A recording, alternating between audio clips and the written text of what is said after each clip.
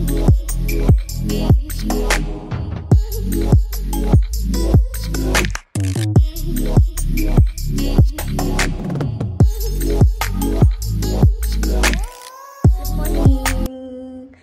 today i'm going to take you through my morning routine yeah it's currently 8:17, and i just woke up